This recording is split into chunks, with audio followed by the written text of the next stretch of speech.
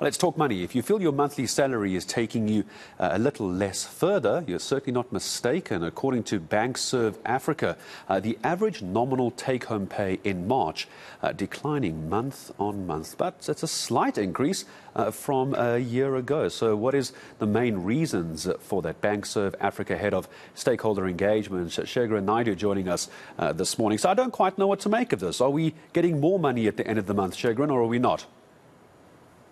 Good morning, morning, Gareth, and morning to you and your viewers. Um, I guess when it comes to, to answering that question, it really goes back to how far does your money go at the end of the month, as opposed to whether you're getting more. Because from what we're seeing with our data, it, it really seems to be um, not much of, a, of a, any material difference. Um, it's slipped marginally during March 2023 to 15,321 Rand which was just about 1.8% higher than, than last year. Mm. Um, but it really goes back to the question of how far can you spend your your money, and that's actually more of a of an inflation story than than than uh, a salary story itself. Yeah, let, us let's, let's go to that inflation story as well. It's 6.9 uh, percent, uh, that 13-year high. This was back. Uh, it was last year, wasn't it? Uh, and now we've seen more uh, headline inflation numbers. it's starting to hurt as well. just help me understand and help viewers understand why, when we start getting to 6.9, 7.1 percent, etc., etc., we start seeing so much um, less bang for our buck, if you will. So if you recall that the, the, the 6.9% that we, we averaged last year um, was based, I mean, it was, you, you're measuring it off the, the seven, so the, the previous highest year uh, of inflation was 7.1% in 2009. And if you recall, 2009 had followed the 2008 global financial crisis and we all know what, what happened post that point. Mm. Um, the 6.9% um, for, for last year, um, economists have hoped that it would, um, the, the economy or the inflation rate would, would um, manage to, to, to settle itself down. Um, remember that that 6.9% was the annual rate for, for 2022. Um, it had peaked actually for on a, uh, at in July 2022 to 7.8 um, and there was there were expectations that once it had peaked, it would it would start to to to, to decline. Um, but when we saw in in March 2023, it, it was at 7.1 percent, which was far from the expectations, which it, it was uh, most most economists were expecting it to to actually hit about 6.9 percent. Mm. So that in itself is is an indication that. Uh, um, consumers are still under a lot of pressure.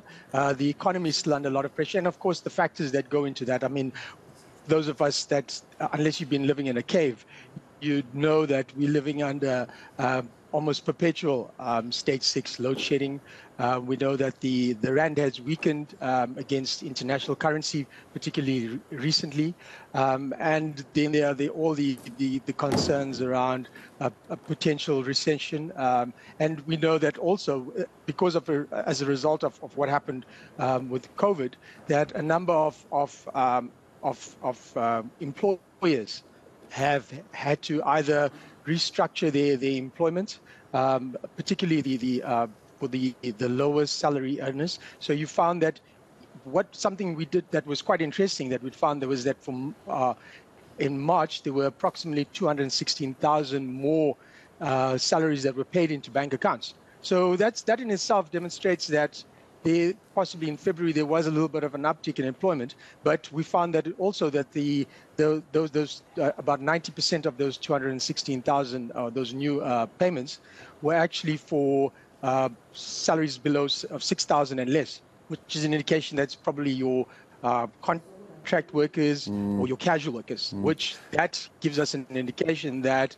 uh, most uh, that it's quite a lot of volatility that's happening in uh, uh, in, in, corporate South Africa or in um, just in South Africa. Employers um, are now possibly restructuring their their um, the employment uh, uh, and to be able to to bring in more salary uh, employees but at a lower salary. Yeah, also probably more contract or, or, casual workers as well, as opposed yeah. to having uh, permanent positions where you have all the added-on issues, uh, things like UIF and pension funds and medical aid, absolutely, and, uh, other company benefits, which can can take a lot of cash uh, out of the bank for a company. I just want to talk as well uh, just about the uh, COVID 19 pandemic. You mentioned the 216,000 uh, salaries paid into bank accounts. Obviously, very good news. We know that even though uh, it's 216,000 more jobs, the money in those banks, in those bank accounts, is worth less because of inflation. But we're still not recovered Absolutely. completely from COVID 19, have we? I see those numbers still uh, below pre COVID 19 levels. That, that's correct. Uh, uh, Pre-COVID-19, the, the quarterly uh, employ, employment labor uh, numbers um, for, for quarter four came in at, at about 16.4 million. And when we look at uh, the end of, of 2022, um, approximately 15.9 million. So there's approximately 500,000 uh, shortfall there, um, which is still an indication that that um, and possibly the those those those individuals are either finding alternate means of, of, of survival. Um, you, are possibly looking at, at uh, individuals that have probably joined the informal economy uh, or potentially more um, cash-based uh, employment or mm. where you're not going to find and this, this this supports our our our assumption that that a lot more people are moving into either cash casual or contracting.